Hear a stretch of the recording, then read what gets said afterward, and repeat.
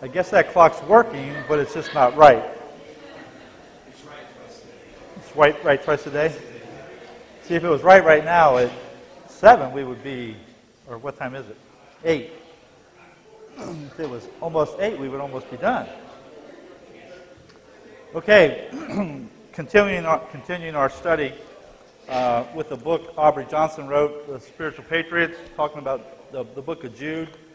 And uh, to start this evening, I just want to read the book of Jude, the, the first 11 verses. So if you want to turn to Jude, uh, we'll read the first 11 verses. Jude, a bondservant of Jesus Christ and brother of James, to those who are called, sanctified by God the Father, and preserved in Jesus Christ, mercy, peace, and love be multiplied to you. Beloved, while I was very diligent to write to you concerning our common salvation, I found it necessary to write to you, exhorting you to contend earnestly for the faith which was once for all delivered to the saints. For certain men have crept in unnoticed, who long ago were marked out for this condemnation, ungodly men who turn the grace of our God into lewdness and deny the only Lord God of, of our Lord Jesus Christ.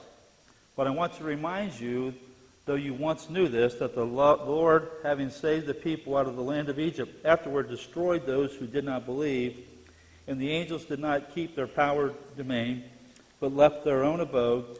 He has reserved everlasting chains under darkness for the judgment of the great day. As Sodom and Gomorrah and the cities around them in a similar manner to these, having given themselves over to sexual immorality and gone after strange flesh, are set forth as an example, suffering the vengeance of eternal fire. Likewise, also these dreamers defile the flesh, reject authority, and speak evil of dignitaries. Yet Michael, the archangel, in contending with the devil, when he disputed about the body of Moses, dared not bring against him a reviling accusation, but said, The Lord rebuke you. but these speak evil of whatever they do not know, and whatever they know naturally, like brute beasts in these things they corrupt themselves. Woe to them, for they have gone in the way of Cain, have run greedily in the error of Balaam for profit, and perished in the rebellion of Korah.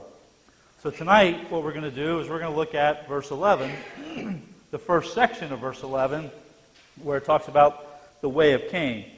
Um, and we'll look at, and next week, um, in the following weeks, the other two that he mentions there. But to start, what uh, Aubrey puts here in his book, he says the, the, the, this lesson is, is titled A Road Less Traveled. And, we're gonna, and he says if, you, if you're to know victory, if I am to know victory, I must choose my path carefully. So when we look at what Aubrey's been doing in the book, it's dealing with warfare and spiritual patriots. And we talked about what patriots are and how we reference it here. And what he referred what he talks about, how he starts this chapter, he talks about during times of war, retreating forces would often swap road signs indicating the names of streets or the directions of particular cities. The aim is to confuse the enemy and slow his advance. With a good map and a compass, it's easy to sort things out and identify the correct route. Careless travelers, however, can be led astray by their inattention. Now, I thought about that.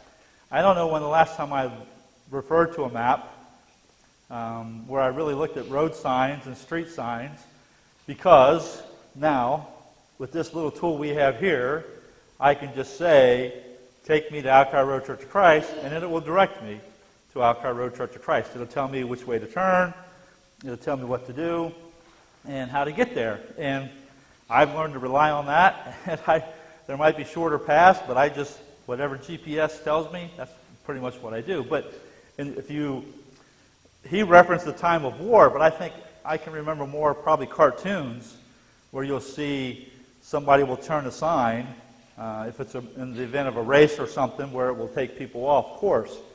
And then what he refers to is he says, woe means woe. So W O E means W H O A, woe. And he says that Satan delights in luring unsuspecting souls down avenues leading away from God. So if you think about most Christians, and that's what we're talking about here, this, is, this book is Jude is written to Christians, and how we defend the faith. Most Christians start off, do they not, with the intent they want to go to heaven. I mean, they're, they're, when they come up out of the water, they're, they're babes in Christ. They're fresh.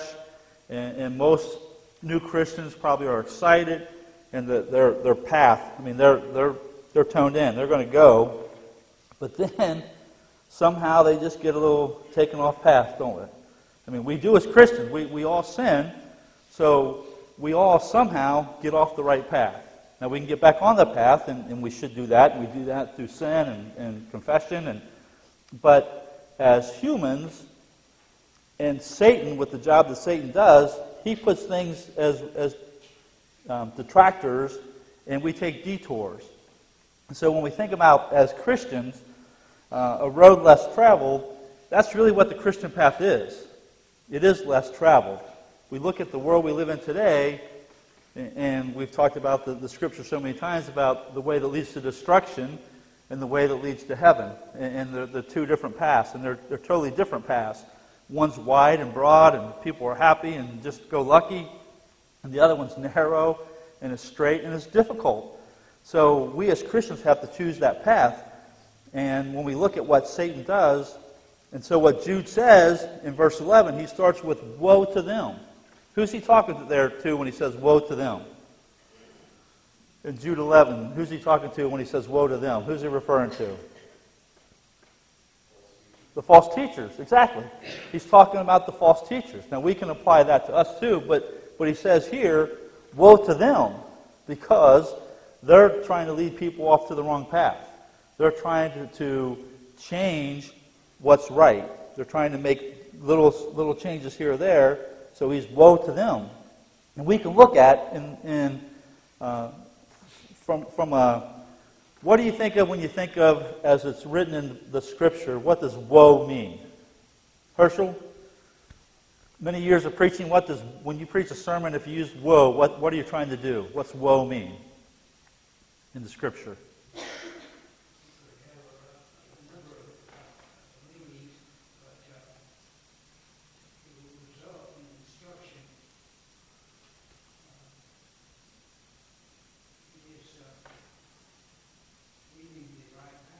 Okay? It, it, it's it's going to, you're trying to stop them from, from, it's leading, the way they're headed now, it's to destruction.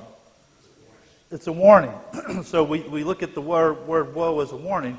It's, it's used in Scripture 71 times in the Old Testament in 69 verses in the Old Testament. In the New Testament, it's used 40 times in 33 verses. Jesus so, said woe 32 times. And, when he, and we can look at some different verses, but if you look at Matthew chapter 23, there are many woes there. But who is he speaking to when he talks about woe in Matthew 23? Yeah, he's talking to religious people, the scribes and Pharisees, and he's telling them woe because he's talking about all the things that they do, where they're taking advantage of widows and just all the bad things that they're doing. And he's saying to them, Woe to you! Woe to you. And so we have to think that there's probably times where our eldership needs to say to us, Woe to you, if they see us going on a path that's not leading in the right way. If I'm a Christian and I'm married, if all of a sudden my attendance falls off, then the warning should be, Woe to you. Ned, you need to be back to church. That you know, that's a warning. That, that's the path that they're headed on is the wrong path. And that's what Jude uses here to kind of to wake them up is woe to them because they're leading on the wrong path, the path to destruction. But we can look at in Isaiah chapter 5, there's seven woes that's used. Um, Jesus used in uh, Luke chapter 6, he has three woes there. So every time Jesus uses woe, it's in the same way, where he's trying to warn someone because of the way that they're headed, and it's not right. Has parents warned children? Telling our children, whoa, slow down, going the wrong way? Yeah, probably a few times.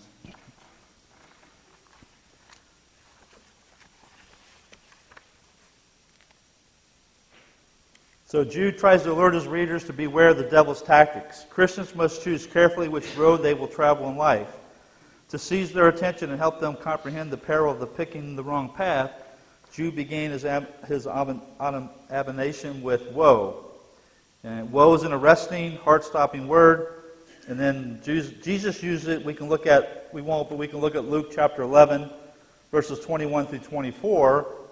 And there he talks about three cities who witnessed what Jesus did, and yet they didn't, they rejected him. and he told them that Sodom and Gomorrah, or the cities of Tyre, would be better off than them because they saw what Jesus did and still rejected.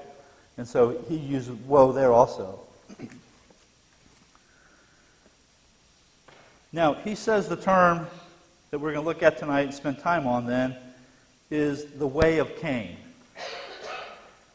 What's the way of Cain? First of all, let's look at who, who was Cain? Okay? He was the very first person born, as far as Abraham, Adam and Eve were formed. So Cain was the first son that was born of Eve. And um, so we, we can turn to Genesis chapter 4, and we can see the story of Cain and Abel. And Cain was the f- first son, and then Abel. Now we know that they both offered sacrifices to God. And Cain offered, let's just turn to Genesis chapter 4.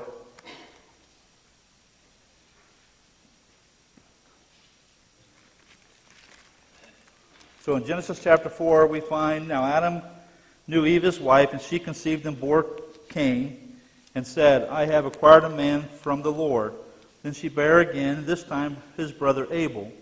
Now Abel was a keeper of sheep, but Cain was a tiller of the ground.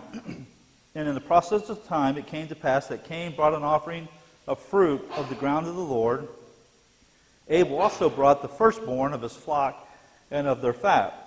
And the Lord respected Abel and his offering, but he did not respect Cain and his offering. And Cain was very angry, and his countenance fell. So the Lord said to Cain, Why are you angry? And why has your countenance fallen? If you do well, will you not be accepted?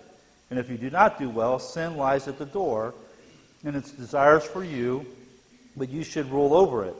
Now Cain talked with Abel his brother, and it came to pass when they were in the field that Cain rose up against Abel his brother and killed him. Then the Lord said to Cain, Where is Abel your brother? He said, I do not know. Am I my brother's keeper? And he said, What have you done? The voice of your brother's blood cries out to me from the ground. So now you are cursed from the earth, which has opened its mouth to receive your brother's blood from your hand. When you till the ground, it shall no longer yield its strength for you. A fugitive and a vagabond you shall be on the earth. And Cain said to the Lord, My punishment is greater than I can bear. Surely you have driven me out this day from the face of the ground. I shall be hidden from your face. I shall be a fugitive and a vagabond on the earth. And it will happen that anyone who finds me will kill me. The Lord said to him, Therefore, whoever kills Cain, vengeance shall be taken on him sevenfold. And the Lord set a mark on Cain, lest anyone finding him should kill him. So we have Cain and Abel. We don't have a lot. We just know that Cain was the oldest. Now, some of the commentaries and things that I read, uh, some people thought that because of what happened in the Garden of Eden and what God said to Satan, that Eve might have thought that when they had their first son, that this is who God talked about going to bruise Satan's heel, that possibly Cain might have been a little bit, and this is just possibility, that Cain might have been a little bit more um, uh, loving or loved by his mother, and, and then Abel was just the other child. We don't, all we know is that Cain offered a sacrifice, offered an offering, and um, we know that we can look at Hebrews chapter 4. In Hebrews chapter 4, it tells us that by faith, he, Hebrews 11 4, what did I say? I said Hebrews 4? Okay. Hebrews 11, verse 4 says, By faith Abel offered to God a more excellent sacrifice than Cain, to which he, which he obtained witness that he was righteous, God testifying of his gift, and through it he being dead still speaks. And then we know that Romans 10 17 tells us that faith comes by hearing, and hearing by the Word of God. So if we take those two verses, we have to believe that God at least had given them verbally how they were to make an offering. And there would have had to been, as God being a just God, for one to be acceptable and not acceptable, then there had to be a, a way to do it so that Cain's wasn't as, as uh, wasn't as accepted because it wasn't the way it should have been. So we find here an example of uh, what usually happens when someone tells a lie. When, when somebody tells a lie, what usually happens? They got to tell another lie and another lie. So a little one starts, and we have a whole snowball effect. And, and that's kind of what the example of Cain is here. There's a sin, but then there's a sin to cover it up. Because what does he say to God? When God says, Where's Cain? Where, where's your brother? Where's Abel? Where's your brother? He says, I don't know. So, you know, he murders his brother. He tells God that he doesn't know where he is, which he does. And then he says, which is probably one of the, the lines that everybody knows in the Bible is, Am I my brother's keeper? Even if they don't know Scripture, they know that term, that reference, Am I my brother's keeper? And so we see Cain um, has anger. He, he's, he gets angry. It, God can see it in, in his countenance. Do any of us do that? Can, can people tell when we get angry? When we get upset? Or are we just cool all the time? Just yeah. People get out of control. People, and, and physically, people get angry, and can it, for those in the, the medical profession, does that have a bearing on your health? Absolutely, it does. Where do ulcers come from? Stress. And so when, when we think about anger and, and what, now, number one, is it wrong to be angry? No. No, it's not. I mean, we can see examples that of, of but, but what's the what's the guidelines in anger? Be angry and sin not, and not let the sun go down in your wrath. Because basically what happens is people have a tendency to harbor things, don't they?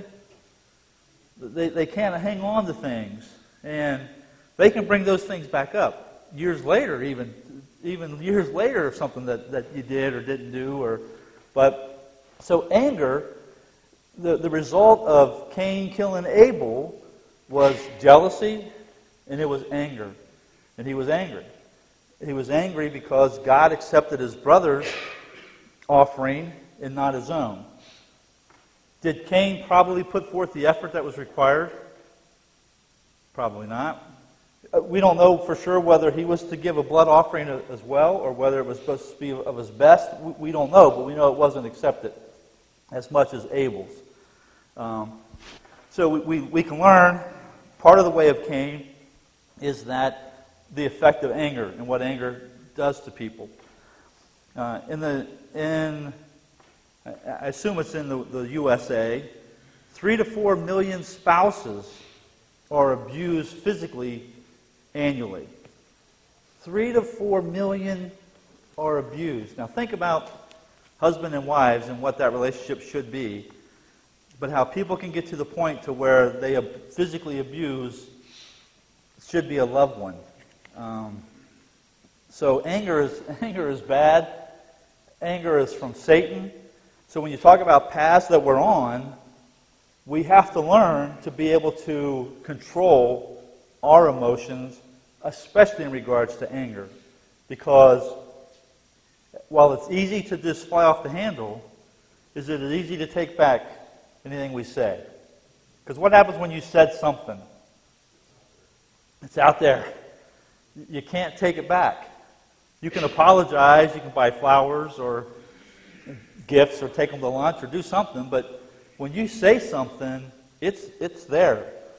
And most times when we say things in anger, it's not, probably not things that we should be saying. So, uh, especially as Christians, when people watch us at work, uh, I know where I've worked for years, People watch you to try to catch you when you do get upset to see if you say a cuss word. That's what they listen for. Because when you, when you don't do that, they watch for it. And if you say anything close to it, they think that you did. So it's important that as Christians, when, when we profess to be Christians, that path we choose is our demeanor all the time. We talked about it last week. We're a Christian 24 7. We're a Christian. We're never off of being a Christian. And we never know who's watching us, who watches us for, and we influence. So definitely people that we work with or that, we, that we're social with who know where we stand, and they see us in a situation where it could be uh, an anger situation, how we react is important. And it speaks loudly, good or bad, of how we do. So we see the results of what Cain did and how Cain acted. So when we first look at the way of Cain, um, a lot of times in Scripture, when it refers to way, it refers to the course of a, the way is a, the course of a person's life, how they chose, which way they, which way they went down, what path they chose. Um, when we talk about self-will, it said Cain was the older of two sons in the earth's first, first family. His brother Abel loved animals and chose shepherding as his life's occupation. Cain followed in the steps of his father and became a farmer. And we can see Genesis 4:2, and then we can see Genesis 2:15. The way of Cain first came to light when he and his brother were making offerings to God, and we just read that. Abel sacrificed the best of his flock, and the Lord received his gift with favor. Cain brought some, some of the produce that he had grown, but God would not accept it. The difference between the two offerings was noted in the New Testament by Hebrews, and we read that. So, so think about that offering. What's our, what's our opportunity as Christians as an, from an offering side?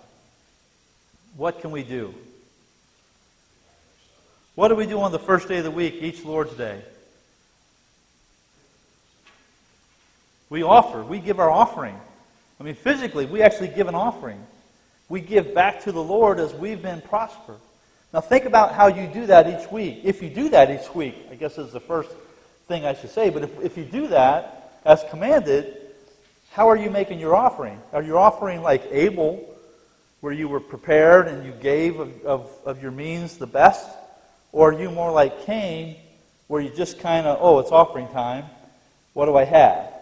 And if you have enough to, to get through the week, then you'll, you'll give. We have an opportunity every week to prove our offering to God. No one else knows. It's between you and God. But just like this with Cain and Abel, did Cain think that there was repercussions to his offering? Probably not. We, we don't know how often that they, they gave this offering. Uh, maybe some Bible-wise person could tell us, but I don't know if it was something they did annually. If they, but um, obviously Cain didn't put a lot of thought into it, where Abel did. And so we, as Christians, we have a way, the way we set in our lives, the path we choose, is the way we give back. And we should think about how we give back and how we prepare for that, and are we doing our best? Are we like Cain in that regard, or are we like Abel in that regard? But because there's a difference. Any comments at this point?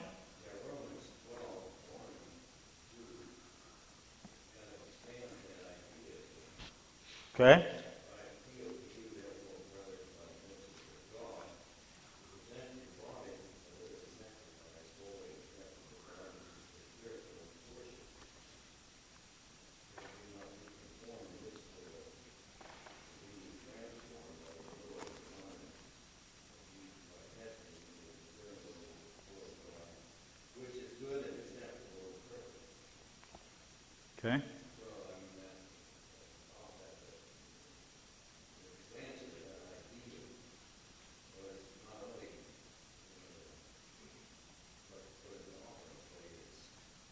How you, everything, your life.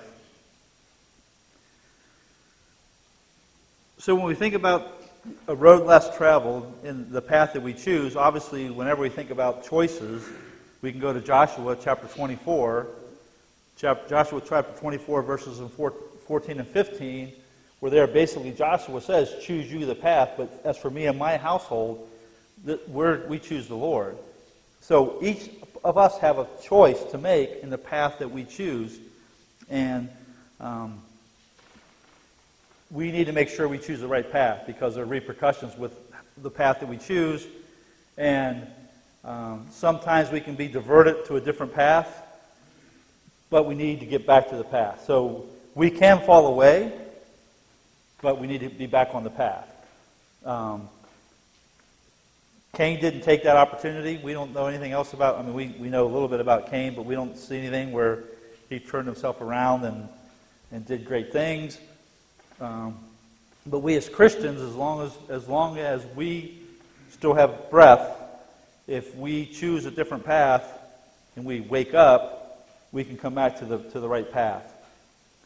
When we look at Cain, one of the, some of the things that re- reference the first, he was the first child of the fall. Uh, he was the first specimen, specimen of an unbelieving man. So when we think about the things that he did, one of it was unbelief. And he was the first example of apostasy. He's the first person that turned his back on God because he did know what was required. He chose not to do that. Now, I don't know where Adam and Eve, where, where they were when they were out of the garden, if, if they were still in sight of the garden. But when Cain and Abel were born, they knew what, um, no doubt, what got their parents in the position that they were in. And so they knew that there was a God. We, we, they knew God created. And so Cain had the knowledge of God, and he chose to um, step aside from it. What Jude's talking about with false teachers is those are people who were Christians who came in to um, create a distraction in the church. And so we have to make sure that we stay on the right path. When we talk about anger and we talk about um, words that we say, in Psalms, the 57th chapter, Psalms 57,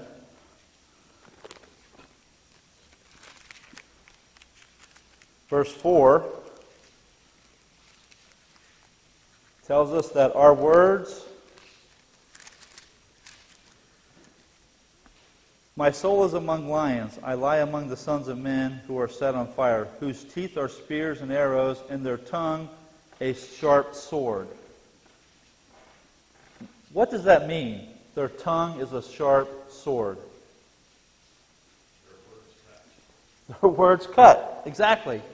Um, and I didn't watch the video, but I know there's a video currently out there with a young boy about bullying where his mom, um, I guess, is big on Facebook and it was on the news. I didn't really watch it, so I just heard it in passing. But we have a problem in our society with bullying, do we not? And think about when people choose that path, that a child, if a child acts that way, where do you think they pick that up? From their parents, probably. So it's important when we think about the, how we live our lives and what we do. And when I said earlier, we don't know who we're influencing, who we're watching. As parents, we have eyes that watch and listen to everything we say and do. And probably most of these kids who are bullying a, a child like that probably have parents who, who act some way or people in their, their circle that act that way that they see that and that's the society that we live in, where people, and when you think of, of Psalm, what David wrote, and words are like a sword. They are, they are cut. They cut into people. Uh, we see people with suicide because of bullying. I mean, it's just, our society has gotten so brash that we don't think about other people. So, Ephesians chapter 4. Ephesians chapter 4, verses 26 through 32. Now, think about if, if our nation, if our society went by this. So, listen to this. Be angry and do not sin. Do not let the sun go down on your wrath, nor give place to the devil. Let him who stole steal no longer, but rather let him labor, working with his hands what is good, that he might have something to give him who has need. Let no one corrupt word, let no corrupt word proceed out of your mouth. Let no corrupt word proceed out of your mouth, but what is good for necessary edification, that it may impart grace to the hearers. And do not grieve the Holy Spirit of God, by whom you were sealed for the day of redemption. Let all bitterness, wrath, anger, clamor, and evil speaking put away from you with all malice. And be kind to one another, tenderhearted, forgiving one another, even as God in Christ forgave you. Now think about our nation. If President Trump got up tomorrow and said, This is what we're going to do as a nation. This is now our this is our golden rule. Think about if people did that. If they really no bad stuff coming out of the mouth. I mean that if you turn the TV on on the news, what do you get? I mean this this is the opposite of that. Is what's fed into our society, into our world. That if we then, if each one of us said, okay, I'm not going to be that person. No, it, it doesn't say let some corrupt words creep out. It says let no. No corrupt words. Escape from our mouths. I mean, it's we need to control anger. And it says, be kind to one another, tenderhearted, forgiving one another, even as God in Christ and then we can look at 1 Peter 3, 8, 9, kind of the same thing. But wouldn't it be nice if that's the world that we lived in? Yeah, no, yeah, yeah. Is that kind of what Fort Hill is, Bill? Fort Hill, is that kind of how we are at Fort Hill when we do, we escape all the world, we don't have the news on? People are pretty much kind, they're kind to one another, they're tenderhearted, they're forgiving one another. So it, when we're at camp, when we're away from all the distractions of the world, it's easier to be a good, faithful Christian. It's when we, when we get uh, entangled back in the world and we let the world entangle in us that those things creep in. So we have to choose the path. So the way of Cain was to, to he worshiped God with impure motives. He did worship God because he did make an offering, but it wasn't accurate. What happens in the world today, in, in most religious, on a Sunday, how many people are doing just that? They don't have the right motives when they're, when they're worshiping God. Probably the majority of, of what's out there today. Um, he, he had a heart filled with jealousy, envy, and hatred. And again, we don't have the whole picture of Cain and Abel, but we do know that obviously there was, there was hatred there, there was jealousy. Um, Obviously, Abel offered was, was God's favorite at that time, and Cain reacted in an in a anger way, which then created caused uh, murder. And then he lied about what he did uh, when asked when he was confronted with it.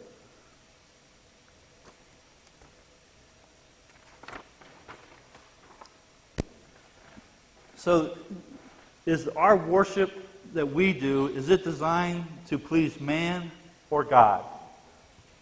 Think about how you, when you come to worship, are you coming to please the elders, the, your, your fellow brothers and sisters, or are you here to please God?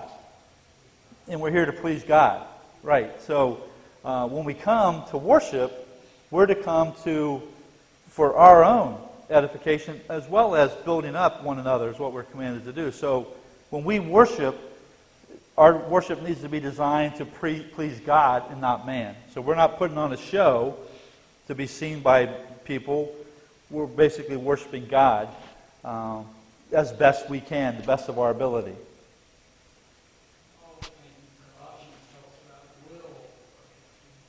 I'm sorry? Uh huh. Yeah. Yeah, so Cain did what he wanted to do and not what God wanted. And, and that's what we need. And, and we have an example of how Christ wants us to worship, and that's what we're to follow. And, and when man says, well, no, I don't want to do it that way, I want to do it this way, that's where, we, that's where things go wrong. We have the plan here, we have to follow it. In Matthew chapter 7, I think we have a picture there of a bit of the judgment, but in Matthew chapter 7, when we talk about the worship, Matthew 7, 21 through 23, Jesus says, Not everyone who says to me, Lord, Lord, shall enter the kingdom of heaven, but he who does the will of my Father in heaven. Many will say to me in that day, Lord, Lord, have we not prophesied in your name, cast out demons in your name, and done many wonders in your name? And then I will declare to them, I never knew you. Depart from me, you who practice lawlessness. So, there are many people, there are many ways that people think that they can worship, but it's not right. If it's not as, as the pattern that's in the Bible, then it's wrong. Nothing makes it right by anybody else making a statement. If it's not what's here, then it's wrong. And I think this verse tells us that there are many people that, and when, when you think about here, how it's talking about, didn't I prophesy in your name? And to me, prophesying in your name is the same thing as, didn't I preach? Didn't I preach? Da da da. Didn't I do this? Didn't I do that? And uh, what the Lord says is, depart from. I didn't know you. So if they're not if they're not worshiping right, if we're not worshiping right, then the Lord doesn't know us. And there are many in the world today that aren't worshiping right, and their worship is in vain.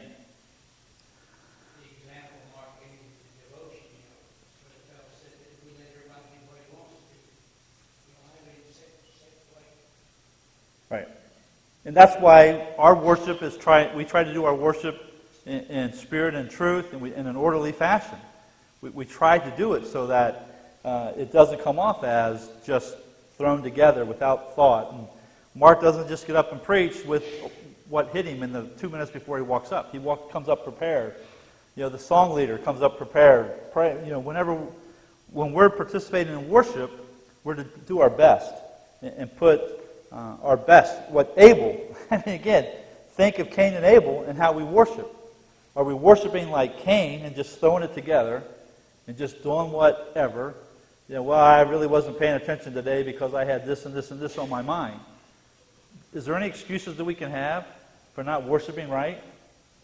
No, sir. No, we, there's no excuses that we can have because we don't worship right. When we come here to worship God, we have to worship God as, as directed here. And um, you'll hear people say, "Well, I did, wasn't in the right frame. I didn't want to. I didn't want to go. I didn't want to be in the right frame." If you can't get in the right frame of mind here, then there's something wrong because that's what we're supposed to do here. That's why we come is to build up one another. And that's what our singing does, and, and that's what this, the, the worship does, is help to bring us together. In Proverbs chapter 16, verse 25,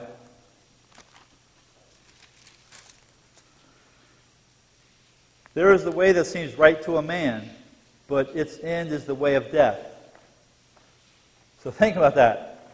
There is a way that seems right to a man, but its end is the way of death.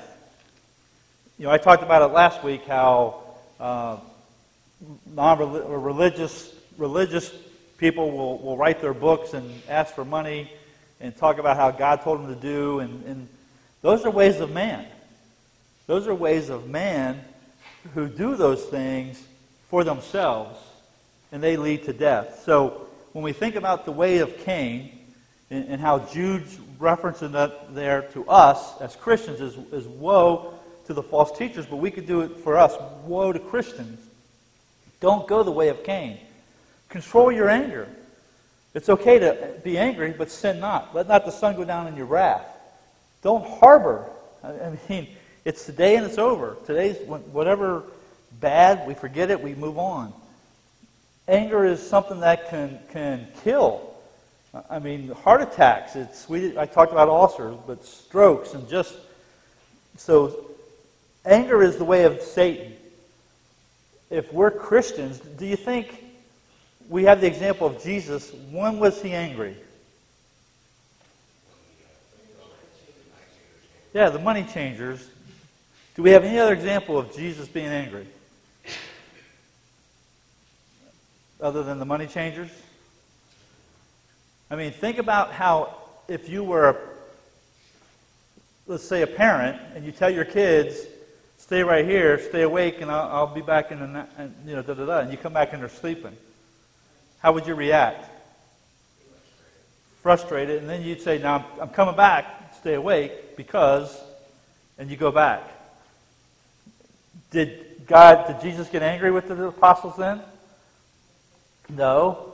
But how easy it would be for us to be angry in a situation like that. So we have Christ as a perfect example for us. And he tells us that we can be angry, but don't let the sun go down on our wrath. Don't let our anger control us, which is what the way of Cain. Look at what the effect of his anger did for the rest of his life, for his family, because of that one act while in anger. Jealousy and all those things that, that were involved, that controlled his life, and that act of anger, the, the price that they pay. Mark 45? And what's that regarding?